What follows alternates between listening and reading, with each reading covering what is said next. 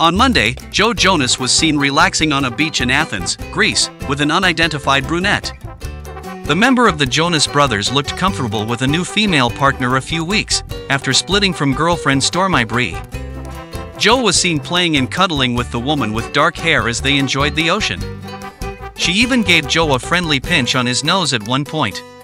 The gorgeous partner wore a one-piece blue bikini, while the singer, who filed for divorce from actress Sophie Turner last year, enjoyed the sun shirtless.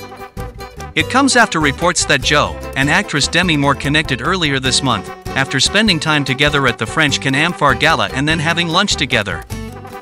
Joe wore a green hat to shield his head from the sun as he enjoyed the warm weather. He wore dark green shorts to match the headgear. His partner, meanwhile, was wearing black sunglasses and a white cap. She added a layer of gold necklaces to finish off the beach vibe. Joe was seen holding her arm with both hands while she laughed, and he was seen tenderly caressing her shoulder. Outside of the water, the two gave each other an embrace.